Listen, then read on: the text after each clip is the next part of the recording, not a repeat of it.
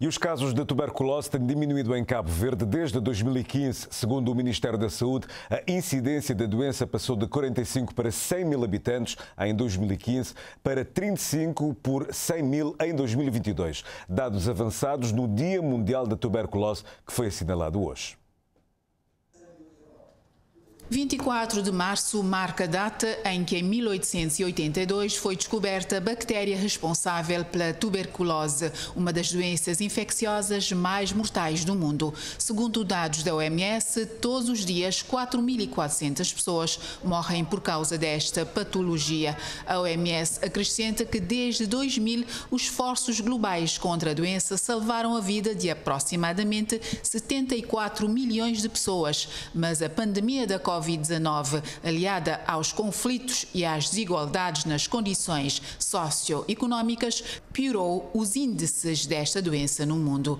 Em seu último relatório mundial da tuberculose, a OMS destacou que, pela primeira vez em mais de uma década, estima-se que a incidência da tuberculose e as mortes pela doença tenham aumentado.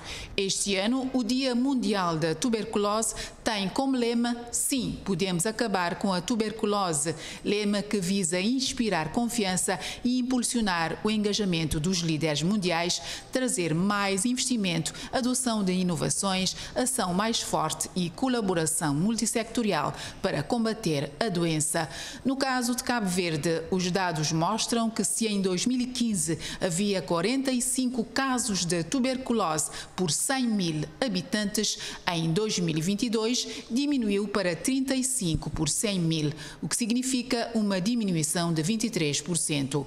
Em 2022, em Cabo Verde foram notificados 208 casos de tuberculose, maioritariamente em pessoas do sexo masculino, quase 70%, nas idades compreendidas entre os 15 e os 44 anos. As pessoas com o sistema imunológico fraco podem apanhar a tuberculose mais facilmente, nomeadamente os que vivem com o HIV, os que vivem em condições sanitárias precárias e pessoas desnutridas. A vacina BCG é obrigatória, pois protege as crianças contra as formas mais graves da doença. Cada paciente com tuberculose pulmonar não tratada pode infectar 10 ou 15 pessoas.